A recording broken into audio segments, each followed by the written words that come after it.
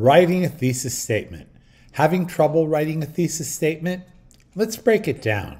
A thesis statement is a sentence that conveys the purpose and topic of your paper.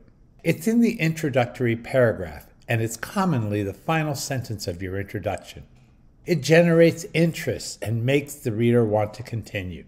It can make a claim, analyze an issue, or explain a topic. There are four elements in the thesis statement. First, be specific to your topic. Next, express interest.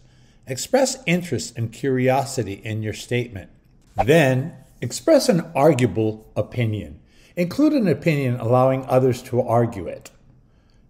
Finally, a reason for your opinion.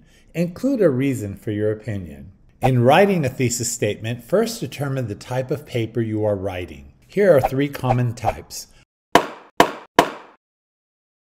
An analytical paper contains a thesis that analyzes an issue. An argumentative paper contains a thesis that makes a claim. An expository paper contains a thesis that explains a topic. Next, choose your claim, topic, or issue. And finally, formulate an opinion. Let's look at examples of all three. An analytical paper includes the topic, what you're analyzing, and your conclusion based on your opinion. If writing about the effects of water pollution, keep it specific to your main effects. Water pollution is hazardous to our health. Unsafe water kills more people each year than war and all other forms of violence combined. An argumentative paper includes a topic, your position, and the reasons for your position based on your opinion. Diet soda should be banned because people have a higher chance of developing type 2 diabetes.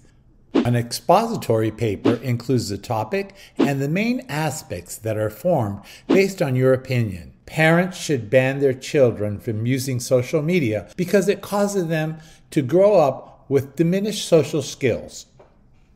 Now it's your turn. Stay tuned. Next week, we will be exploring how to write a topic sentence.